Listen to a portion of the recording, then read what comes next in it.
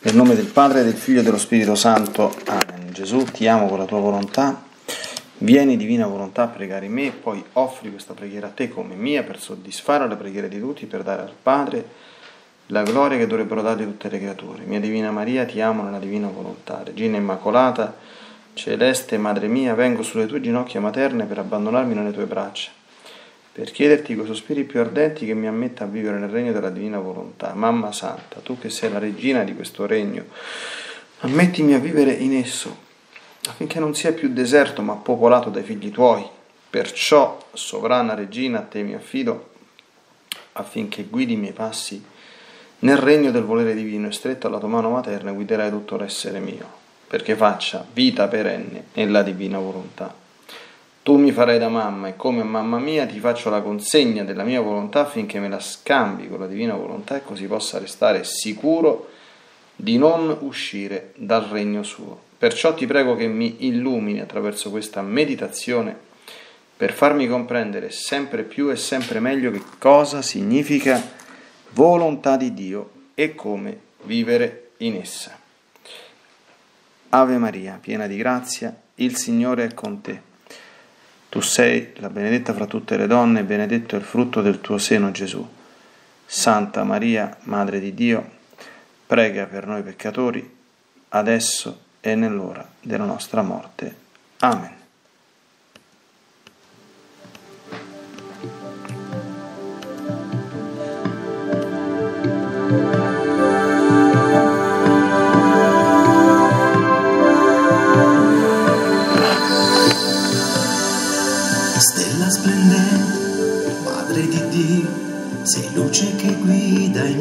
Passi, conduci il mio cuore ad acque tranquille, sostegno e riparo tu sei, con dolci parole di madre che ama, sussurri nel cuore che è l'unica strada, il pane e il vino che tuo figlio ha donato, e amare ogni uomo come lui ci ha insegnato.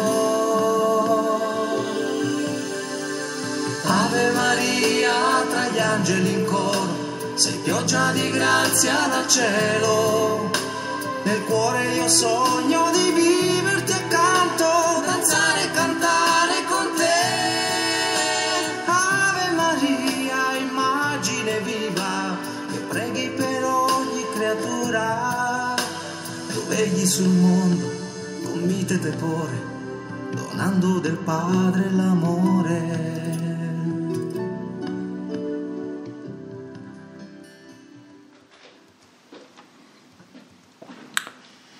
Dal Libro di Cielo, volumi 15, 23 marzo 1923 e 11 luglio 1923. 23 marzo.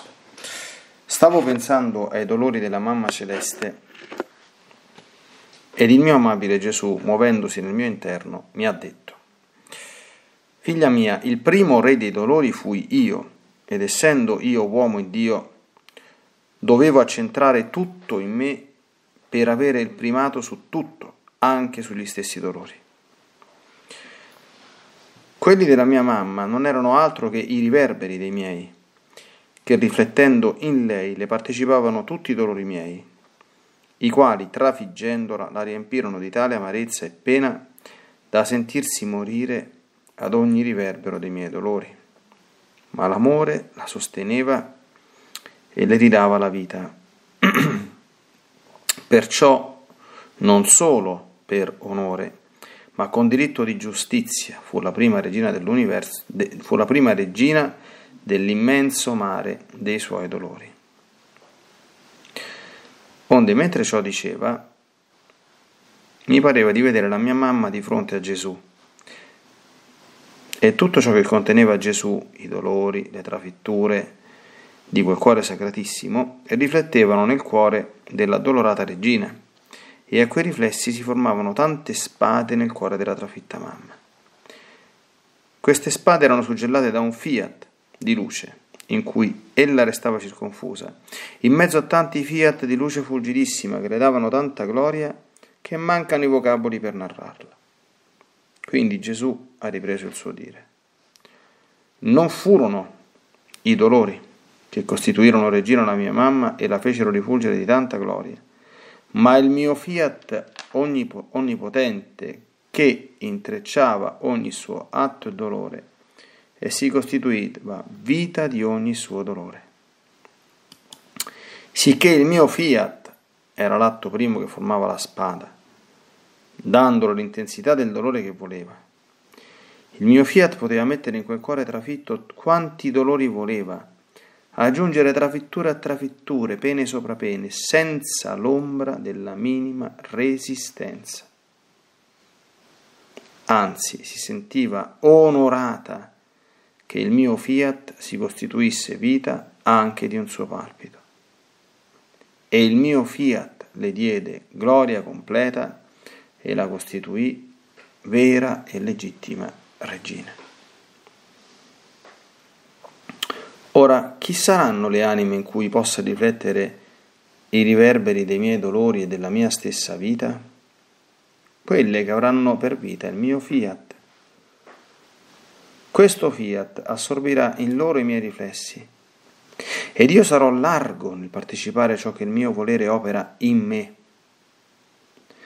Perciò nella mia volontà aspetto le anime per dar loro il vero dominio e la gloria completa di ogni atto e pena che possano soffrire.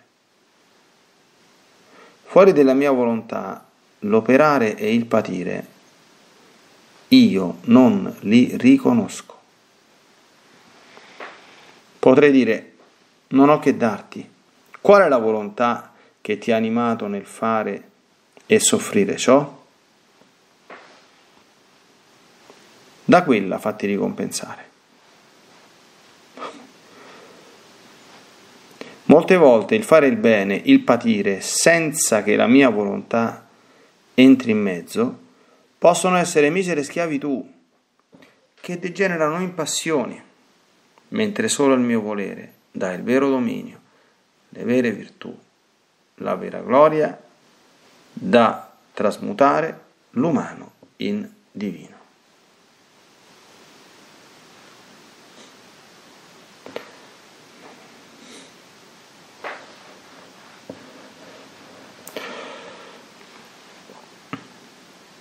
11 luglio 1923. Figlia mia, quanto più grande è l'opera che voglio fare, tanto più è necessario che sia unica e singolare quella creatura che scelgo.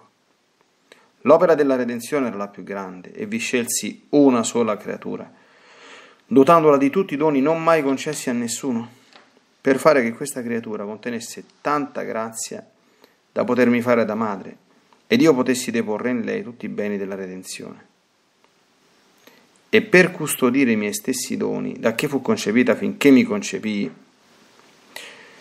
la tenne adombrata nella luce della Santissima Trinità, la quale si faceva custode e teneva l'ufficio di dirigerla in tutto.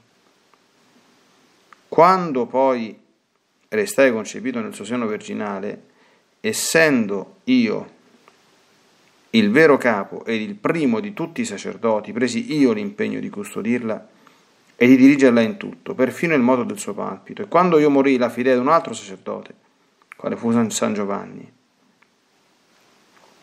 Un'anima così privilegiata che conteneva tutte le grazie, unica nella mente divina, unica nella storia, non volli lasciarla fino all'ultimo suo anelito senza l'assistenza di un mio rappresentante. Forse ho fatto questo ad altre anime? No, perché non contenendo tanto bene, doni e grazie, non è necessaria tanta custodia e assistenza.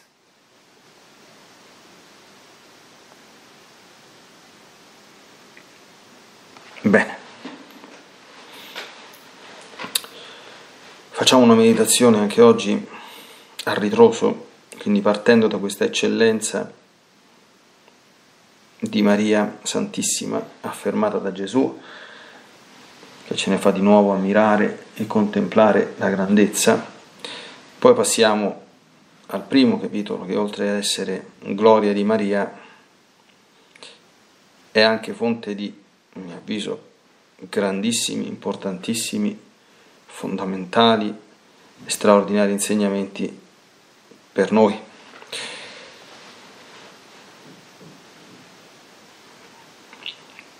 Gesù ci spiega anzitutto in questo secondo capitoletto un principio dell'agire divino ad extra.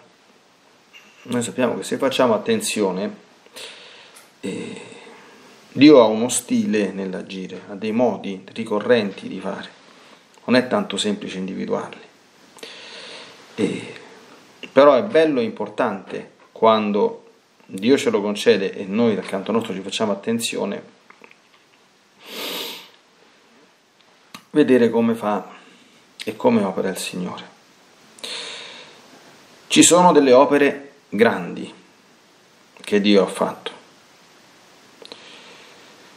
e alcune grandissime come l'opera della redenzione. E, e Gesù dice, quanto più grande è l'opera che voglio fare, tanto più è necessario che sia unica e singolare quella creatura che sceglie. Ecco. Significa che le grandi opere che Dio fa nella storia richiedono delle anime eh, concrete, sue collaboratrici, sue amiche, sue fidate, sue, possiamo chiamarlo predilette, ecco, che sono dotate di particolari attrezzature soprannaturali. Soprannaturali che chiaramente eh, poi, oltre che a nobilitare particolarmente la creatura, eh, eh come dire, la obbligano a una, delle forme particolari di, di corrispondenza e di attenzione. Allora, è certo che la Madonna ebbe dei doni mai concessi a nessuno, ma poi lo vedremo nel primo capitoletto cosa ne ha fatti con quei doni. Non ha usato quei doni per crogiolarsi o peggio ancora per vantarsi o per ritenersi, come dire, unica o, o chissà cosa, no? Ha, come dire, ha attivato una tale operazione come di, di, di, di ininterrotta corrispondenza e e messa a frutto di quei doni, no? ricordiamo la parabola dei, dei, talenti, il trafficare i doni ricevuti, eh, che li ha non, moltiplicati all'ennesima potenza, insomma, quando si parla di queste cose con la Divina Maria, con la Madonna, è impossibile, eh, come dire, eh, non perdersi, ecco, quindi usare espressioni tipo l'ennesima potenza che, ecco, eh, lasciano il campo all'infinito che, che, che, che l'orizzonte mariano ordinariamente apre, no? Questa è la prima cosa. Chiaramente i doni e il traffico di essi è finalizzato a una moltiplicazione continua della grazia, perché la creatura che non è perfetta ed eterna come Dio, è soggetta continuamente, e questo anche la Madonna l'ha vissuto sul pianeta Terra, al divenire, quindi o diventa migliore o diventa peggiore, in, in, in, continuamente.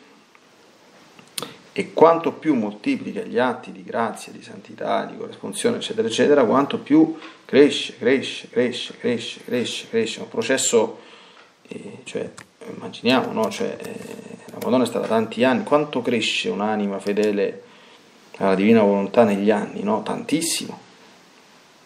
Eh, però al contrario, no? Quanto decresce o, o non cresce nella migliore delle ipotesi un'anima che resiste, vedremo poi nel primo capitoletto il principio della resistenza all'azione della grazia. Allora, Qui la Madonna ci ha avuto poi, la Madonna come tutte le anime particolari, qui c'è un sottointeso, eh, ha avuto una direzione molto particolare. Dal suo concepimento fino al concepimento di Gesù si era presa come direttore spirituale niente di meno che la Santissima Trinità, la quale si faceva custode l'ufficio di dirigerla in tutto. Ecco, ma com'era la Madonna? come figlia spirituale della Santissima Trinità, come diretta della Santissima Trinità. Domanda retorica, no? Ecco, Poi ci informa Gesù, quando restai concepito, io me ne sono preso l'impegno di custodire e di dirigere in tutto, ho fatto io il Padre Spirituale, essendo io, e chi era Gesù? E Gesù era il re e il principe di tutti i sacerdoti, il capo, il sacerdote per antonomasia, è Gesù, è il sacerdote con la S maiuscola, anzi il sommo sacerdote, come si legge nella lettera agli ebrei, no? da cui tutto il sacerdozio, tutti anche i sommi sacerdoti, cioè i vescovi, traggono come vita e ragione di essere, fondamento, eccetera. No?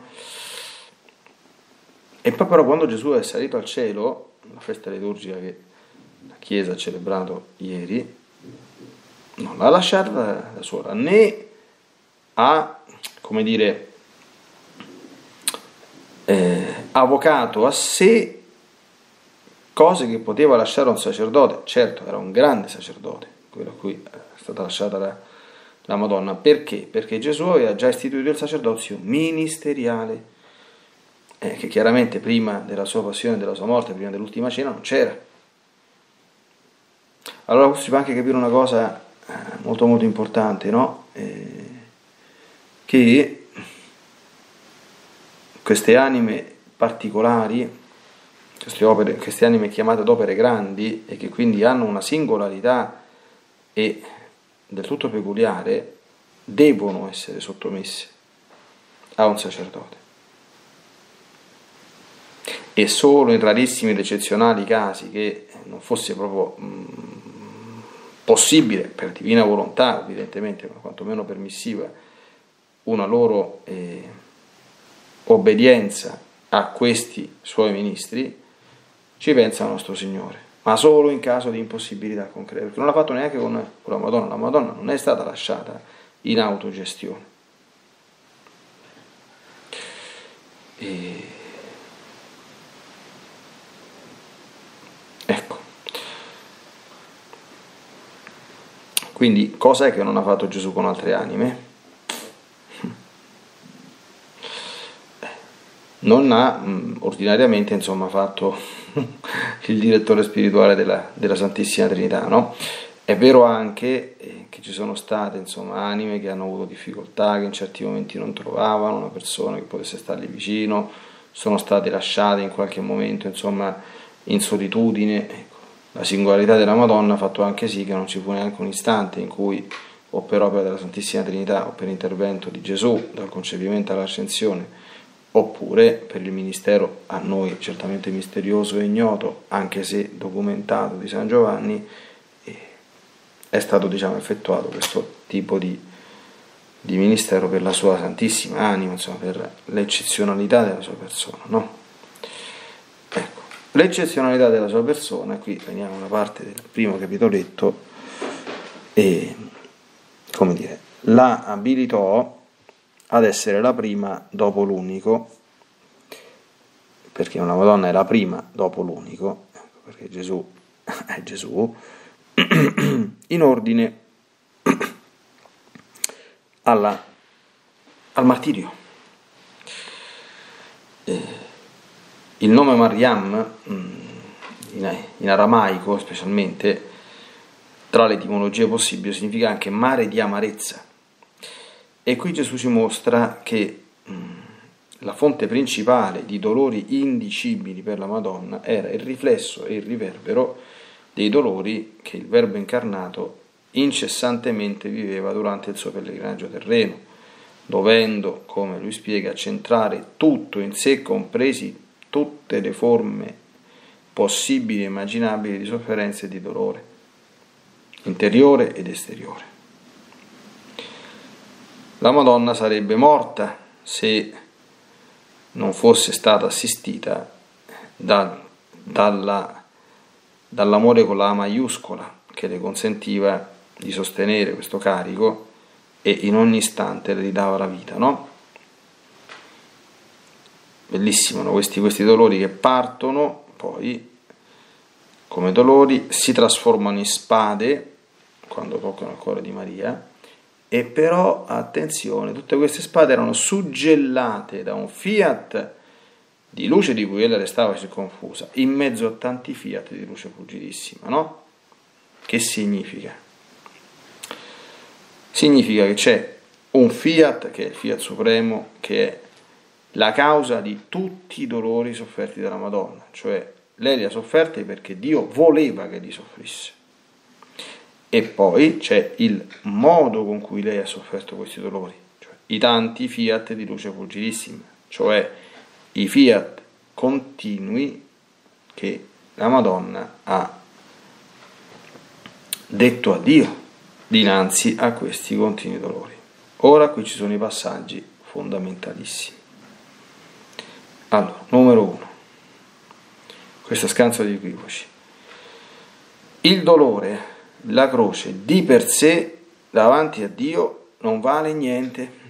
Diciamo così, facciamo questa cosa brutale, così, ma vale l'accogliere il dolore come divina volontà, quindi come cosa voluta da Dio, e offrirlo con amore, per amore, in obbedienza a Dio per la salvezza del mondo. Questo è quello che conta. È Gesù che lo dice. Non furono i dolori che costituirono regina la mia mamma e la fece rifugio di tanta gloria, cioè sul pianeta Terra. Qui stiamo in un ospedale altro che da campo, da, da, da trincea, da guerra continuo, cioè dolori che, che tribolano i figli degli uomini, quasi totalmente dati da, da, da se stessi, sono immani, sono spaventosi, d'accordo?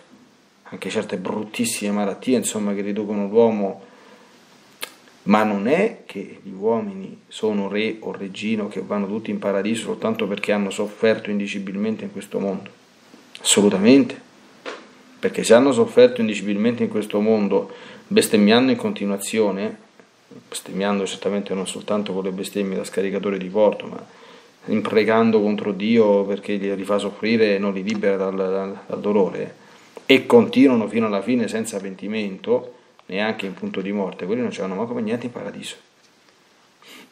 Quindi non è il dolore che valore agli occhi di Dio, ma è il fiat, cioè il fiat era l'atto primo che formava la spada, questo grande fiat suggellato da questa grandissima luce. Dandole l'intensità del dolore che voleva, e io potevo fare tutto quello che volevo. Il mio fiat poteva mettere in quel cuore trafitto quanti dolori voleva, aggiungere trafitture a trafitture senza l'ombra della minima resistenza. Poteva fare quello che voleva Dio con quell'anima. Sapeva che avrebbe sempre, sempre, sempre, sempre trovato il fiat soggettivo di risposta e di accoglienza e di unione al fiat supremo.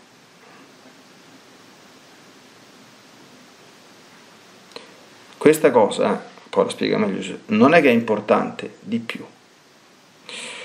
Ora, chi saranno le anime in cui possa riflettere i riverberi dei miei dolori e della mia stessa vita, cioè quelle che avranno come vita il mio fiat. Attenzione.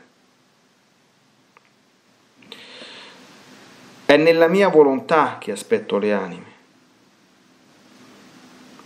per dar loro il vero dominio e la gloria completa di ogni atto e pena che possano soffrire, cioè le tue sofferenze, le tue tribolazioni diverranno croci e quindi sofferenze meritorie davanti a Dio, se saranno sofferte nella divina volontà. Attenzione, adesso poi vedremo che significa. Fuori della mia volontà, dice Gesù, l'operare e il patire non lo riconos- io non li riconosco, lo dice lui. Ci potrei dire, non ho, da, non ho niente da darti. Qual è la volontà che ti ha animato nel fare soffrire ciò? Da quella fatti ricompensare. Qui Allora, cosa dicono i maestri di spirito già prima di entrare nei, nei divini voleri? Quali sono le sofferenze più sicure, tra virgolette? Cioè quelle in cui c'è sempre la, la divina volontà e noi non dobbiamo fare altro che dire il fiat. Sono quelle che Dio, tra virgolette, ci manda. Adesso lasciamo perdere il modo corretto di interpretare il ci manda, no? Quindi quelle in cui la nostra volontà non c'è un disagio, ma dalle più piccole cose, un disagio, un fastidio, una piccola malattia, condizioni climatiche eh, non, non ideali, come dire, eh, persone antipatiche, mettiamoci tutto il possibile e l'immaginabile. Tutte queste forme di sofferenze hanno tutte quante il sigillo del fiat. Perché? Perché non c'è la nostra volontà. Noi le ritroviamo davanti e se potessimo, anzi molto spesso e volentieri, ne faremmo volentieri a meno e questo fa capire quanto siamo lontani dal fiat divino.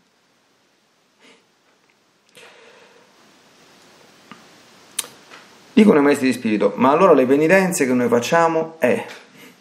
Le penitenze hanno valore davanti a Gesù, è un valore anche molto grande, perché comunque sono offerte libere e volontarie, se uno decide di fare un'opera di, di, di penitenza, so, una processione, un, un atto, eh, che ne so, se dice rosario in ginocchio, fa un digiuno, cose di questo genere qui, è certo che quella è una cosa che dice, ah, il rosario potevo pure dirmelo seduto, io oggi potevo pure tranquillamente mangiare, io a questo pellegrinaggio faticoso potevo pure non andarci, quindi c'è un fondamento eh, che Dio chiaramente gradisce, che deriva proprio da un esercizio della libertà e come dire che si orienta verso una privazione eh, abbracciata per amore di Dio.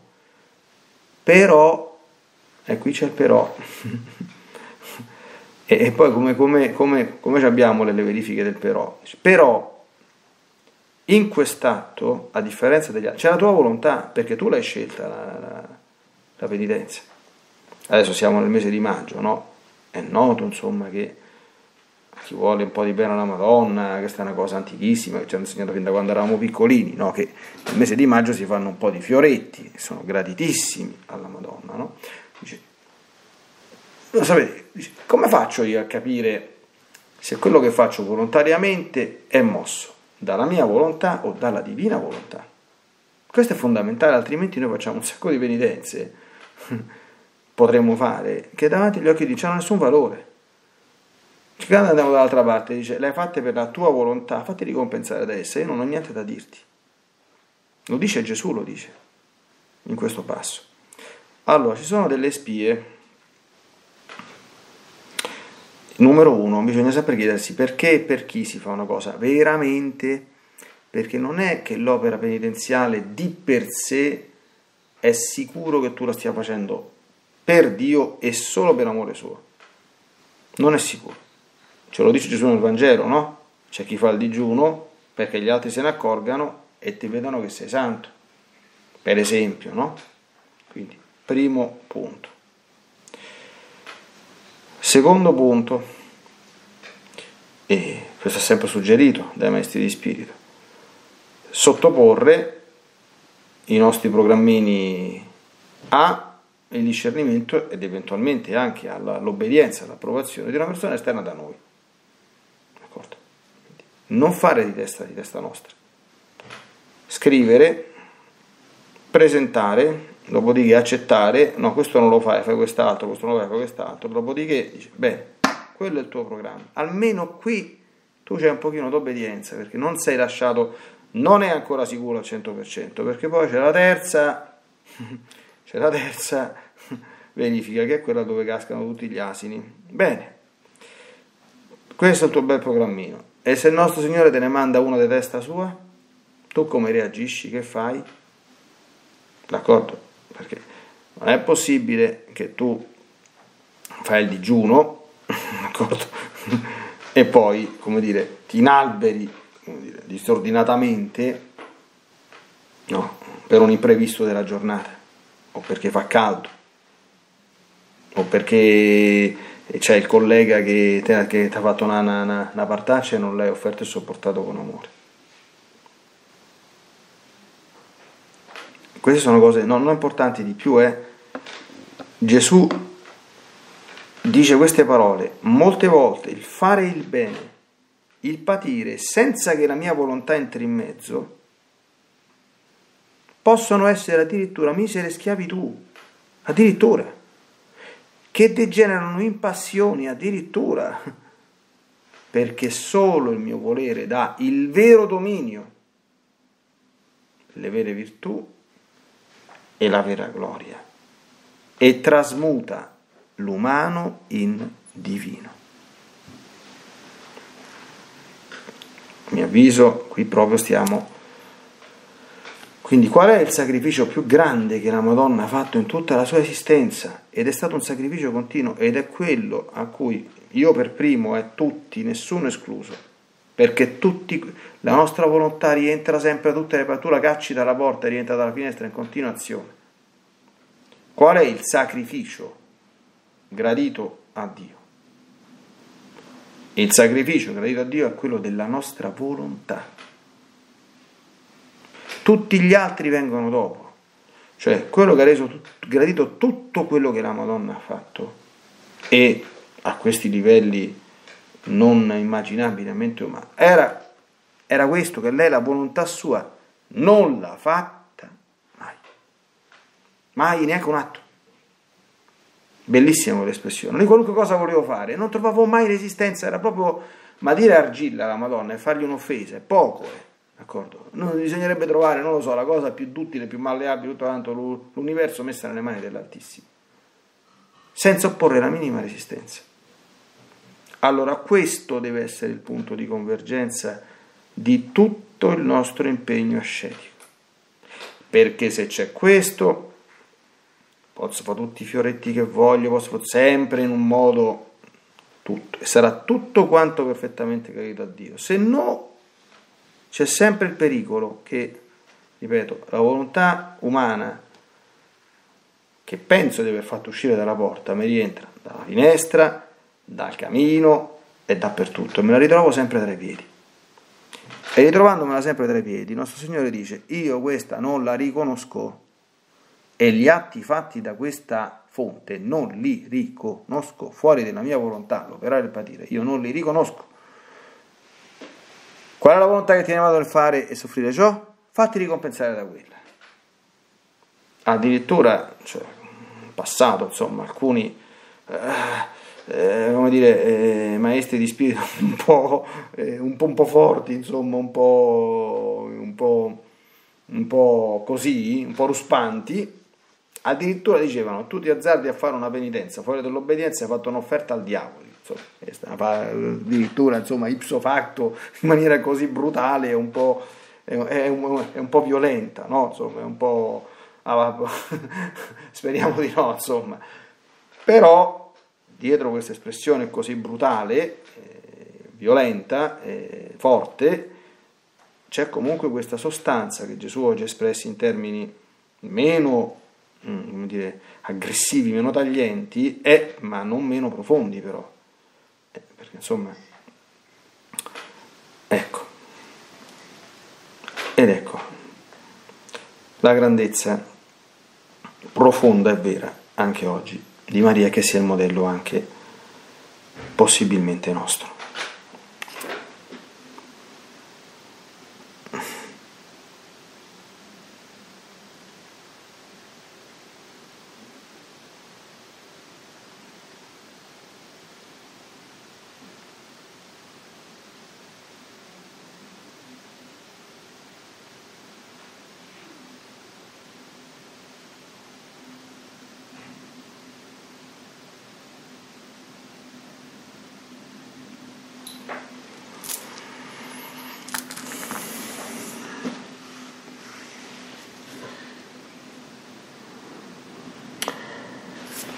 Bene, Divina Maria, facci davvero comprendere questo fondamento della tua grandezza, che è il fondamento anche della nostra grandezza, ricordando che un minimo atto di rinuncia alla nostra volontà fosse anche di una cosa sciocchissima e piccolissima, vale molto di più di chissà quale grande opera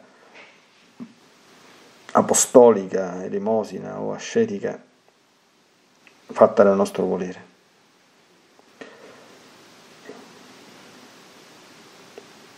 E aiutaci anche sempre a ricordare